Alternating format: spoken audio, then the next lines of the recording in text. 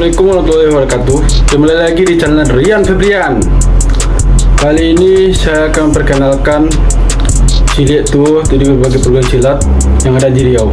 Dalam acara Tor di Gelanggang Melestarikan silat tuh tradisional yang ada di Riau.